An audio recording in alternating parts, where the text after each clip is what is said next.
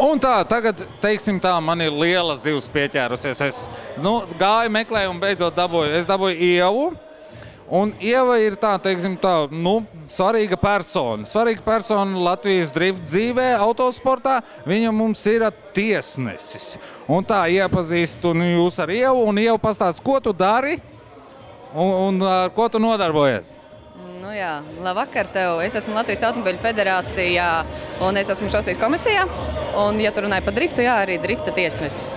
Tā kā ne tikai drifts, bet arī autošosē. Jā, visa autošosē, un tajā skaitā arī šosē, kas ir arī motosportam. Oi, nu, ļoti svarīga persona mums šovakar pie mums piebiedrojusies šajā pasākumā. Saki, lūdzu, kā tev patīk šī te atmosfēra? Tu esi pirmo reizi Dobelē vai jau esi bijusi, un kā tev patīk mūsu ballīte, tā teikt? Nu, Dobelēs neesmu pirmo reizi tikai tādēļ, ka patiesībā sakot, es esmu pavadījis ļoti daudz vasaras šeit, jo man šeit dzīvo radinieki. Tā kā nu, ne pirmo reizi esmu šajā pilsētā, bet šajā klubā gan es esmu pirmo reizi. Un paldies par uzaicinājumu īstenībā. Man ļoti patīk šī atmosfēra.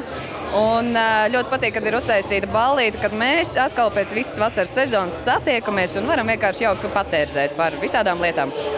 Man arī prieks, un es gribu tev pateikt, paldies, ka tu ieradies šovakar. Un tā bija mūsu ieva, ļoti svarīga persona autosporta dzīvē.